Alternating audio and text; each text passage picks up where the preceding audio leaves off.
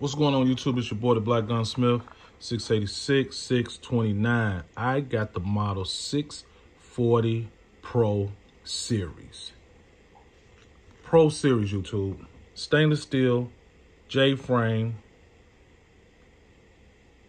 two inch barrel.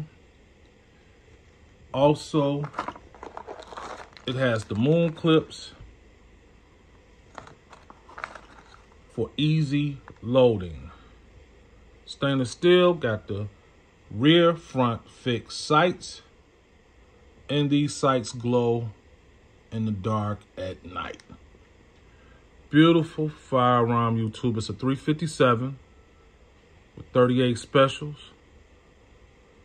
Also, I'm gonna put Altamont grip on there, YouTube. But before I put the Altamont grip on there, I'm going to polish her up. So give me about an hour, maybe two hours.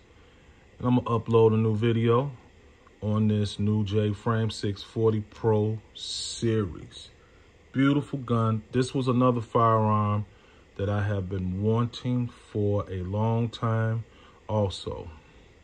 And my collection, YouTube, is pretty much, um, I'm pretty much done. Um, I'm thinking about the Model 66 that's like the little brother of the 69.